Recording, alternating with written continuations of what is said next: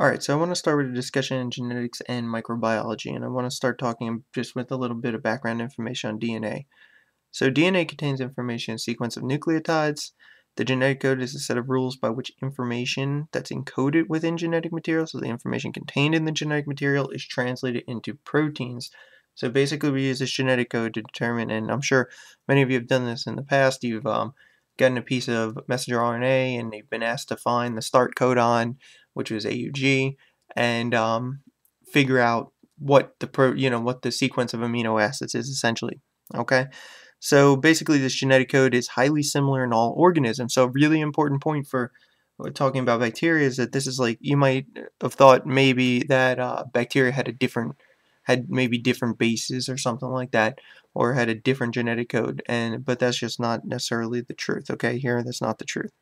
So it's similar in all organisms and you can use a table with 64 entries to determine it and that table can be found you know just a quick Google search. So another important point is all living organisms have double-stranded DNA okay they don't have single-stranded DNA uh, this was a point this was a question I tripped a lot of people up I, I actually saw this question trip a lot of people up and uh, I'm not including viruses in this particular discussion because they're not necessarily considered living. Although, if you want to argue the case that they are living, um, you know, a pretty decent case can be made for that. So the other thing I'm showing here is I have the base pairing, um, and we have four bases: adenine, thymine, guanine, cytosine. Okay, and this is just my short-term notation for the base pairing that there's two hydrogen bonds that connect A and T, and three hydrogen bonds that connect G and C. So uh, you might remember that the more um, GC you have in your in your DNA, uh, the harder it is to be denatured because it's got three hydrogen bonds. Three hydrogen bonds are stronger than two hydrogen bonds, so it kind of makes sense. Um, also, there's a major groove and a minor groove, and that's basically for DNA binding proteins. It's locations for DNA binding proteins to um, attach to the molecule. And um, that can usually be distinguished on a picture of the double helix. You can usually see the slight difference. In, um, but anyway, that's another that's a discussion for another time. So all the DNA inside the cell is the genome, and the DNA is usually found in the chromosome, and many cells have a plasmid. Um, basically what I'm saying here is that you have this, it, the DNA is usually found in the chromosome and many cells have a plasmid, so I'm saying that that's where the DNA is found, but the plasmid is probably the most important and most interesting point. Um, the plasmid is something kind of unique, and I'm going to go into a full discussion on what that's all about in another minute here. So the chromosome is usually a single circular chromosome, so bacterial chromosomes usually single circular chromosome, um, but again, it can be linear. It's not always single circular chromosome. Uh, many have multiple chromosomes, so many bacteria have multiple chromosomes, and um, the size of the genome can vary. Basically, it can be pretty small, and then again, it can be fairly large, up to 9.4 million base pairs.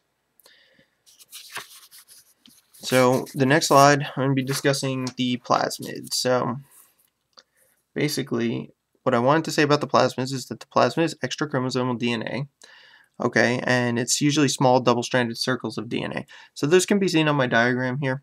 Um, these are the plasmids and they typically only carry a few genes.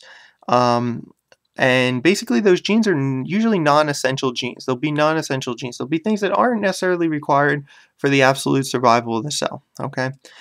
Uh, they replicate independently of the chromosome in this case and it's possible to have many copies of the plasmid. Basically what I'm saying here is it's possible to have two different types. You can have a low copy number of plasmids, so like this example right here where you see like three plasmids, that's a low copy number of plasmids. Or you can have a high copy number of plasmids, that could be upwards of 50 in, in you know in a single cell, so it depends. Um, plasmids are used in biotechnology all the time, and again, you might ask or be wondering, you know, what kind of genes are on these plasmids? What, what, what do they carry? Well, basically, the plasmid provides bacteria with the ability to survive under certain unfavorable circumstances. So basically, you'll find genes with antibiotic resistance, um, resistance to some toxic metals, um, proteins to metabolize rare food sources. So, for instance, like if the normal food source is like glucose and you need to metabolize lactose, or the bacteria needs to metabolize lactose because that's all that's available. Um, also, genes that allow for symbiosis. So, those are some of the examples. Um, genes may be transferred to members of the same species. that lack a particular gene or members of other species. Okay, so that's one of the interesting things. We don't just have um, vertical gene transfer, we have also horizontal gene transfer. And I'm going to get into a deep discussion about that in the near future. So the last part I want to talk about here with this kind of basic introduction to in, into um, DNA and talking about bacterial genetics is basically the, the way DNA is packaged to fit inside the bacterial cell. So it's compacted by what's called supercoiling, and it's regulated by what's known as topoisomerase, which is an enzyme, and it compacts DNA into an organized nucleoid. All right, so we know that bacteria don't have a nucleus, but they do have a nuclear region, so to speak. We call it a nucleoid. And type 1 type topoisomerases basically cleave one strand of DNA and relieve supercoiling. So the type 1 topoisomerases can be shown on the schematic on the right side of this here. This is showing basically a supercoil being unconstrained. So this is your single circular chromosome here, and it's losing the supercoil. Okay. And type 2 is uh, type 2 topoisomerases are basically considered DNA, what's known as DNA gyrase is another name for it. And they cleave both strands of DNA and they also use ATP. So they're using energy, they require some energy to um, introduce these supercoils. And as a general rule, when I talk about supercoiling, um, basically mo most organisms have negative are negatively supercoiled. So that's just a you know a little point to cap this off.